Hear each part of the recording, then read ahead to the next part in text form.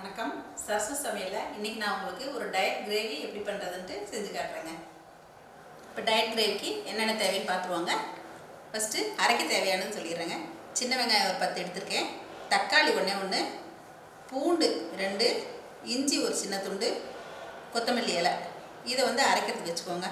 அடுத்து தாளிக்கிறதுக்கு சீரகம் கருவேப்பிலை கொத்தமல்லி ஒரு தக்காளி சின்ன வெங்காயம் கொஞ்சம் கேரட் பீன்ஸு இவ்வளோதாங்க அரைச்சிட்டு அதுக்கப்புறமா கூட ஆட் பண்ணுறதுக்கு மல்லித்தூள் ஜீரகத்தூள் மஞ்சத்தூள் தேவைக்கு உப்பு பெப்பருங்க தாளிக்கிறதுக்கு தேவையான ஆயில் இவ்வளோதாங்க இதை வச்சு ஒரு கிரேவி நம்ம ரெடி பண்ணிடுவோம். ஃபஸ்ட்டு அரைச்சிட்டு வந்துடுவோங்க.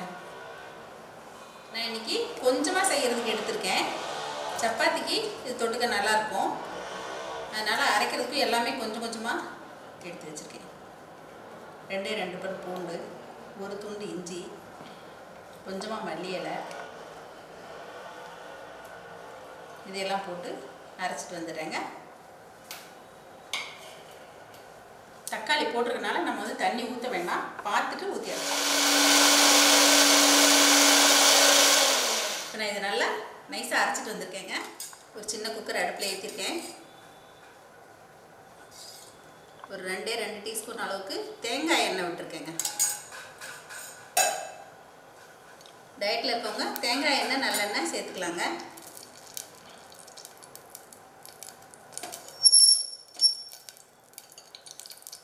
இப்போ நான் இதில் சும்மா கொஞ்சோண்டு ஒரு அஞ்சாறு ஜீரகம் போடுறேன்.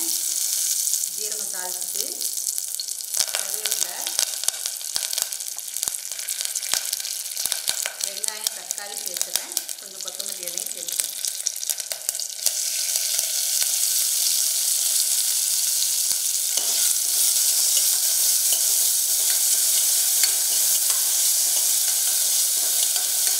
நம்ம குக்கரில் சவுண்ட் விடணுங்கிறதுனால வேண்டியதில்லைங்க அடுத்ததாக கேரட் பீன்ஸையும் நம்ம சேர்த்துடலாம்.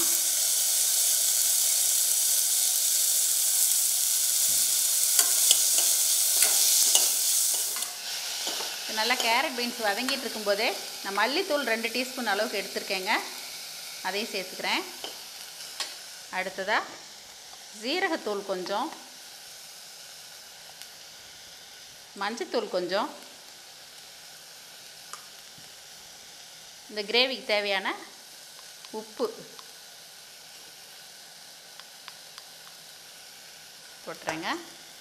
அடுத்து நம்ம அரைச்சிட்டு வந்திருக்கிற இந்த தக்காளி வெங்காய கலவையும் இதில் நம்ம ஊற்றிடலாம்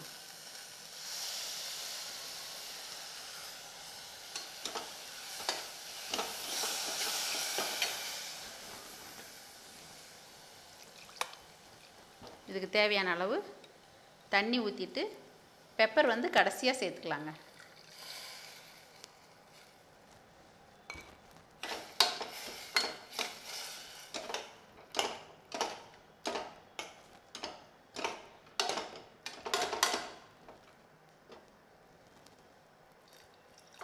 நீங்கள் இந்த கிரேவி வந்து குழந்தைங்களுக்கு சப்பாத்தி பூரிக்கெல்லாம் செஞ்சு கொடுக்கலாம்.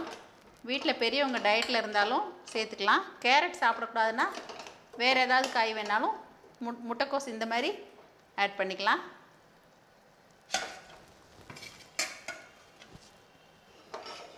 இப்போ இதை குக்கரை மூடிட்டு ஒரு சவுண்டு விட்டுறேங்க.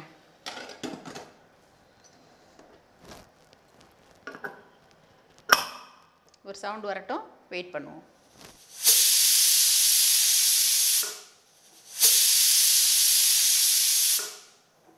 இப்போ இது ஒரு சவுண்டு வந்தாலே போதும் ரெண்டு சவுண்டு வந்துருச்சு ஆஃப் பண்ணிட்டோம்.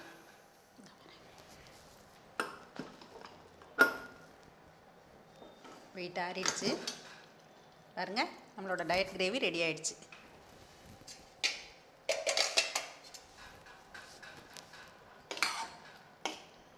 இதுவே உங்களுக்கு கிரேவி அதிகமாக வேணும் அப்படின்னு நினச்சிங்கன்னா கொஞ்சம் பாசி பருப்புங்க நல்லா மஞ்சத்தூள் போட்டு வேக வச்சு இதோட மிக்ஸ் பண்ணிவிட்டு காரத்துக்கு நீங்கள் வேணும்னா மிளகாத்தூள் வேணும்னாலும் கொஞ்சமாக சேர்த்துக்குங்க.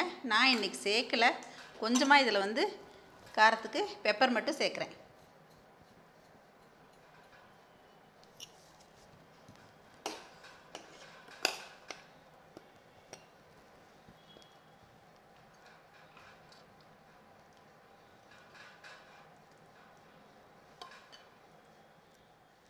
நம்மளோட இந்த டயட் கிரேவி ரெடி ஆயிடுச்சுங்க.